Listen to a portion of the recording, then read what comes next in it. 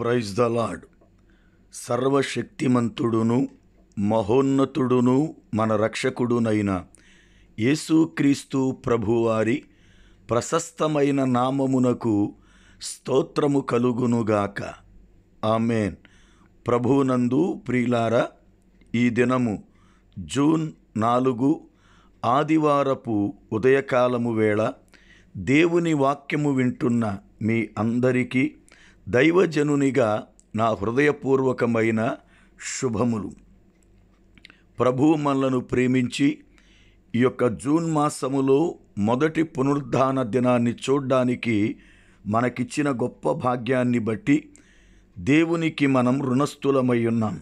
మనమందరము కూడా ఈ యొక్క మొదటి ఆదివారపు దినాన్న దేవుని మందిరానికి వెళ్ళి ఆయన సన్నిధిలో ఆయనను ఆరాధిస్తూ దేవుని యొక్క జీవుగల మాటలు వింటూ ఆత్మీయముగా ఫలభరితమై దేవుని రాకడకు సిద్ధపడాలి. అట్టి రీతిగా మనలను ప్రభువు నడిపించునుగాక. ఈ దినము ఒకవేళ దేవుని మందిరానికి వెళ్ళలేని బలహీనతలలో బంధకాలలో ప్రభువు మనలను విడిపించి నడిపించునట్లుగా ప్రార్థన పూర్వకముగా సిద్ధపడదాం. రండి. దేవుని వాక్యాన్ని మనము చదువుకొని వాక్యాన్ని ధ్యానము చేద్దాం. కీర్తనల గ్రంథం పద్దెనిమిదవ కీర్తన నలభై ఏడవ చరణం. ఆయన నా నిమిత్తము ప్రతిదండన చేయు దేవుడు జనములను నాకు లోపరుచువాడు ఆయనే. ప్రార్థన. ఆశ్చర్యకరుడా పరమ తండ్రి మీ కొందనాలు స్తోత్రాలు. మీ మహా ఉచితమైన కృపచేత మేము ప్రతిదినం కీర్తన గ్రంథము నుండి వచనం వెంబడి వచనాన్ని ధ్యానించడానికి కృపనిస్తున్నారు మీ కొందనాలు. ఈ దినము కూడా వాక్యము చదవబడి ఉంది. వాక్యము ద్వారా మాతో మాట్లాడండి. మమ్ములను బలపరచండి. వాక్యము వింటున్న మా ప్రియుల కుటుంబాలను దీవించండి. బలహీనులైన వారిని బలపరచండి రోగులను స్వస్థపరచండి బంధకములలో ఉన్నవారికి విడుదల కలిగించండి మారు మనసు లేని వారికి మారు మనసును దయచేయండి రక్షింపబడిన వారు పడిపోకుండా స్థిరపరచండి. ఆత్మీయముగా మేము పెండ్లి కుమార్తె వలి సిద్ధపరచబడి మీరాకడకు ఆయత్తపరచబడే గొప్ప కృప మాకు దయచేయుమని ఏసునామమున ప్రార్థిస్తున్నాను పరమ తండ్రి. ఆమెన్. ప్రభువునందు ప్రియులారా మనము ప్రతిదినం కీర్తన గ్రంథములో నుండి వచనం వెంబడి వచనాన్ని వింటున్నాం. ఇప్పటికి ప్రభువు పదిహేడు అధ్యాయాలు ముగించి పద్దెనిమిదవ అధ్యాయం చివరి భాగములోనికి నడిపించారు. ప్రతి వచనము నుండి ప్రతిదినము చక్కగా మనను మాట్లాడుతూ ఆత్మ సంబంధముగా ఎదిగింప చేస్తున్నారు. దేవుని వాక్యమును వింటున్నప్పుడు వాక్యములో మనకున్నటువంటి గద్దింపులను లేక హెచ్చరికలను మనము స్వీకరిస్తూ ఖచ్చితముగా వాటిని సరిచేసుకోవాలి. అలాగునే మనకివ్వబడుతున్న వాగ్దానాలను స్వీకరించి ప్రార్థన ఎందు ఆ వాగ్దానములను జ్ఞాపకం చేసుకుని ప్రార్థించాలి. దేవుని వాక్యము చేత దినదినము చక్కగా బలపరచబడుతూ ఎదగాలి. నేడు దేవుని యొక్క లేఖనములో కీర్తన పద్దెనిమిది నలభై ఏడులో దావీదు ఈ రీతిగా దేవునిని గణపరుస్తున్నాడు ఆయన నా నిమిత్తము ప్రతిదండన చేయు దేవుడు జనములను నాకు లోపరుచువాడు ఆయనే అంటాడు. దేవుడు దావీదు నిమిత్తం తన శత్రువులైన వారికి ప్రతిదండన చేసే దేవుడు. నిజమే దేవుని లేఖనములో దేవుణ్ణి ఎవరైనా ఒకవేళ విమర్శించినా దేవునిని దూషించిన దేవుడు సహించిన సందర్భాలు ఉన్నాయి. వారిని క్షమించిన సందర్భాలు ఉన్నాయి. కానీ దేవుని పిల్లలైనటువంటి వారిని ఎవరైనా దూషించినా ఎవరైనా వాళ్ళను విమర్శించినా ఎవరైనా వారిపైన దండెత్తినా అట్టి వారి విషయములో దేవుడు కోపపడి వారిని దండించడం శపించడం జరుగుతుంది. అబ్రహాముతో దేవుడు మాట్లాడినప్పుడు ఆదికాండం పన్నెండవ అధ్యాయం రెండు మూడు వచనాలు మనం ధ్యానిస్తే ప్రభువు అబ్రహాముని పిలిచాడు. పిలిచిన మాటకు విధేయుడై అబ్రహాము వచ్చాడు గనుక అబ్రహాముతో మాట్లాడుతూ నీవు ఎవరిని ఆశీర్వదిస్తావో వారిని ఆశీర్వదిస్తా. నిన్ను దూషించు వారిని నేను శపిస్తాను అంటాడు. అనగా దేవునికి విధేయులైన వారిని ఎవరైనా దూషిస్తే దేవుడు ఊరుకోడు. దేవుడు ఖచ్చితముగా గద్దిస్తాడు బుద్ధి చెబుతాడు ప్రతిదండన చేస్తాడు.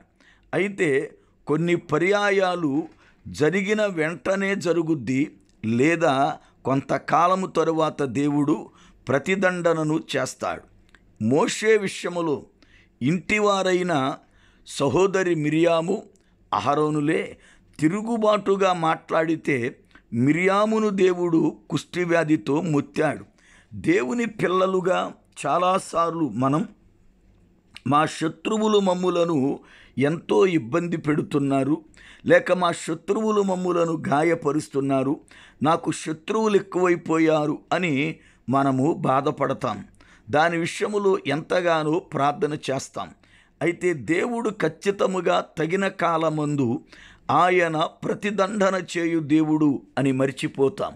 దేవుని లేఖనములో దేవుడు చక్కని వాగ్దానాన్ని ఇచ్చాడు. చూడండి కీర్తనల గ్రంథం రెండవ కీర్తన ఎనిమిదవ చరణం.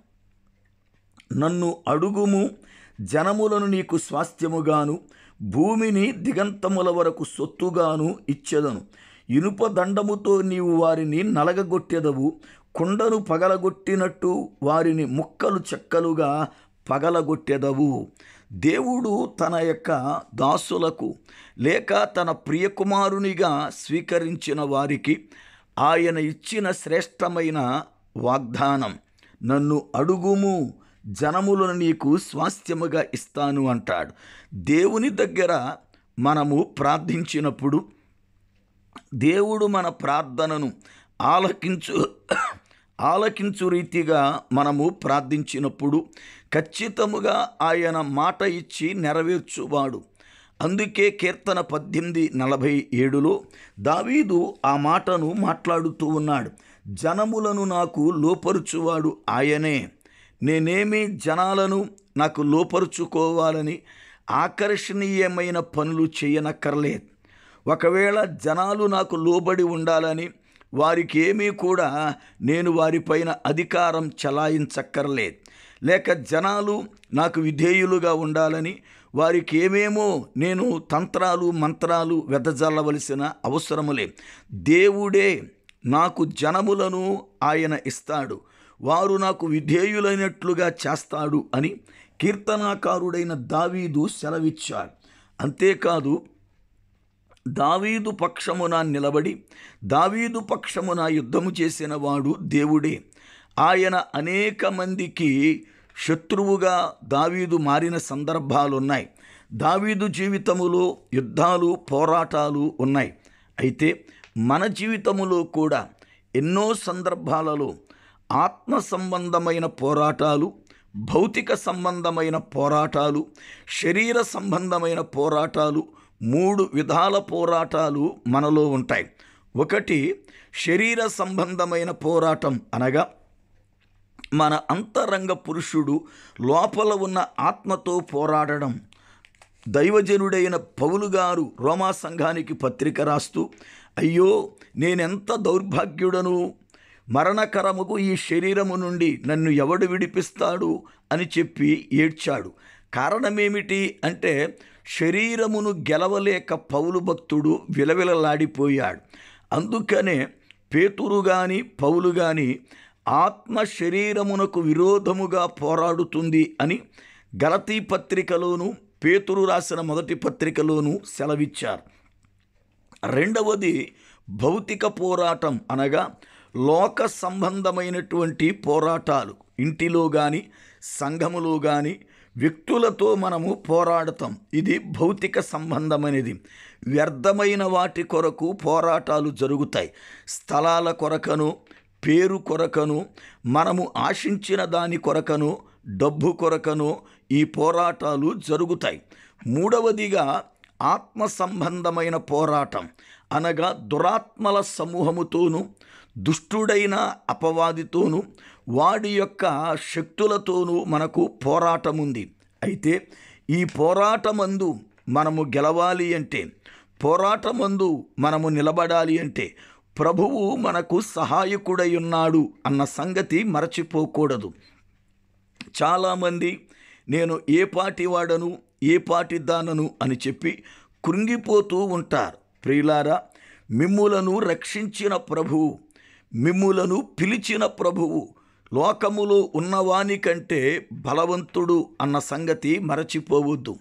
మీరు రక్షింపబడ్డారు అంటే అది ఈనాటి ప్రణాళిక కాదు. ఎపేసి పత్రిక మొదటి అధ్యాయం ఆరవ వచనం ప్రకారం జగతికి పునాది వేయబడక మునిపే మీ ఎడల దేవుని యొక్క ప్రణాళిక. అలాంటి ప్రణాళికలో ఉన్న నీవు రక్షింపబడ్డావు గనుక ప్రభువు నీకు తోడయ్యుంటాడు అన్న సంగతిని మరచిపోవద్దు. నిన్ను అనాది కాలములోనే ఆయన ఎరిగియున్నాడు గనుక నిన్ను విడిచిపెట్టడు. నీవు ఒంటరివి కావు. దేవుని బిడ్డలుగా ఆత్మ సంబంధముగా మనము బలపడి ఎదుగుతున్నప్పుడు అపవాది మనలను బలహీనులను చేయడానికి ఎన్నెన్నో సులువుగా చిక్కులు పెట్టే పాపములలో పడవేస్తాడు. ఎన్నెన్నో విషయాల్లో మనల్ని వాడు బెదిరిస్తాడు. ఎన్నెన్నో విషయాల్లో కృంగదీస్తాడు. ఎన్నెన్నో శోధనలు మన ఎదుట తెచ్చి పెడతాడు అయితే వాటిని జయిస్తూ జయశీలుడైన యేసు ప్రభు యొక్క నామమును మనము స్తుతిస్తూ దేవుని యొక్క శక్తిని బట్టి మనము బలవంతులుగా ముందుకు సాగాలి. అందుకే పౌలు భక్తుడు తిమోతికి వ్రాస్తూ తిమోతికి వ్రాసిన రెండవ పత్రిక రెండవ అధ్యాయం మొదటి వచనములో నా కుమారుడవైన తిమోతి ప్రభు అయిన దేవుని యొక్క కృపను బట్టి బలవంతుడవు కమ్ము అంటాడు. కనుక దేవుని యొక్క వాక్యాన్ని బట్టి మనము బలవంతులుగా సాగుతూ దేవుడు మనకిచ్చిన వాగ్దానాలు నెరవేర్చు శక్తిమంతుడని విశ్వాసముంచి ముందుకు సాగాలి. అప్పుడు ఆయన వాగ్దానములన్నీ కూడా మన పక్షమున నెరవేర్చబడతాయి. అట్టి కృప ప్రభువు మనకు దయచేయునుగాక ఆమెన్. మన పరమ తండ్రి అయిన దేవుని యొక్క అద్వితీయమైన ప్రేమ ఆయన కుమారుడును మన రక్షకుడునైన యేసుక్రీస్తు ప్రభువారి శ్రేష్టమైన కృప పరిశుద్ధాత్మ దేవుని యొక్క అన్యోన్య సహవాసం ఆయన సన్నిధి సకల పరిశుద్ధులకు తోడయ్యుండి నడిపించునుగాక.